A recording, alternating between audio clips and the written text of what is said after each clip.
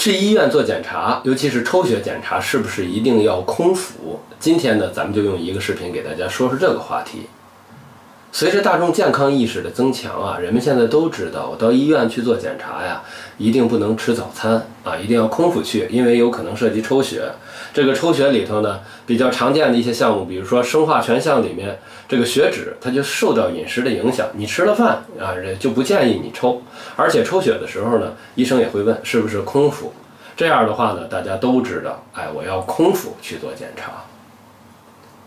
当然啊。这个的确是有一定的道理，因为你好多情况下，你吃了早餐，比如说吃了油条啊，你这个上午再去一测呢，你这甘油三酯就很容易高啊，就这么快。而且呢，低密度脂蛋白呢，它也需要先测量空腹脂蛋白，然后通过 Faried-Wall 的公式算出来低密度脂蛋白，它也有赖于空腹脂蛋白的测量。所以说，这一切都指向我们要空腹做检测。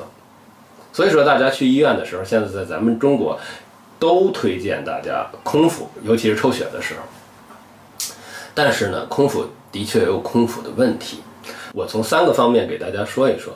第一个呢，从咱们学术方面，从医学角度讲呢，这个空腹测出来的检测呢，实质上它并不是身体的最真实反应。你想啊，这个空腹的定义是八个小时未进餐。咱们身体有多长时间处于八个小时未进餐的状态？早餐四五个小时吃午餐，午餐之后四五个小时吃晚餐，晚餐之后空八个小时一口东西不吃，那才算是空腹状态。合着满打满算，只有凌晨的那么几个小时，可能算是个真正空腹的状态。而我们身体呢，绝大多数时间处于一个餐后的状态。所以说，餐后的状态它才是最真实的状态，才能真实的。你比如说血脂。测量这个非空腹的血脂，可能才能反映出来真实状态下这个血脂对于血管的影响。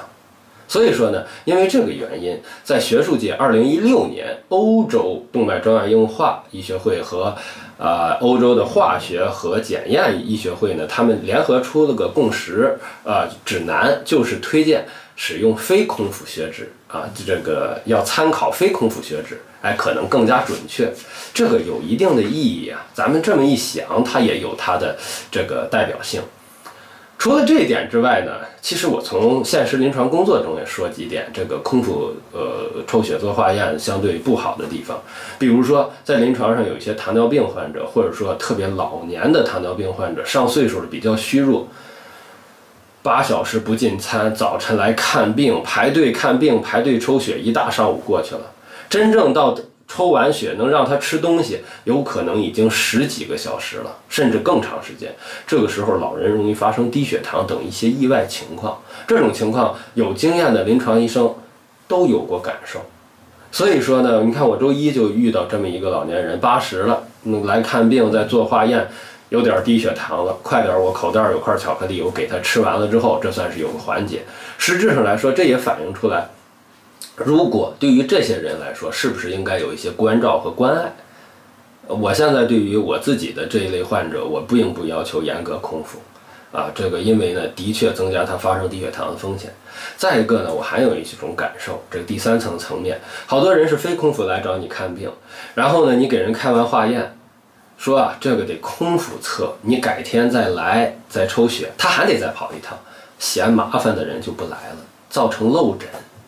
所以说这些原因呢，都支持着我们可能后期啊，是不是应该，比如说两个标准啊，一套标准是支持空腹之后做抽血化验的那个呃参考值，再一个呢，是不是我们对于一些某些指标，比如说受到饮食影响大的，可以制定一套这个餐后的参考值？这样的话呢，即使有些病人因为他特殊的情况、特殊的原因，他不能。这个空腹，这样的话，我们也可以呢。对他疾病进行一个诊疗，这是我自己一些想法。当然，后期我也会尽自己的努力去呼吁这个事儿。当然呢，今天也是，呃，就是和大家去分享这个事情。只能说呢，对于一些高危病人，对于一些呃有一定风险的病人，的确我们需要注意，这个不能让他们空腹时间太长，就为了看病抽血。这个时候呢，医生注意，患者自己呢也留心注意。有的时候呢，也可以跟医生沟通一下。您说。是吧？岁数太大了，糖尿病怕低血糖，啊，能不能早看一会儿啊？或者说能不能今天先查了之后，如果您看的这个指标它和呃饮食相关性不大的，咱们先查了，这样的话呢，也可能给患者带来更多的方便。好吧，今天啰啰嗦嗦跟大家说了这么多，也希望呢，呃，后期咱们很多专业的同道同仁一起努力，能够让抽血化验做这个事儿，呃，越来越人性化，越来越好。好了，今天说到这儿吧，关注健康，关注张静大夫。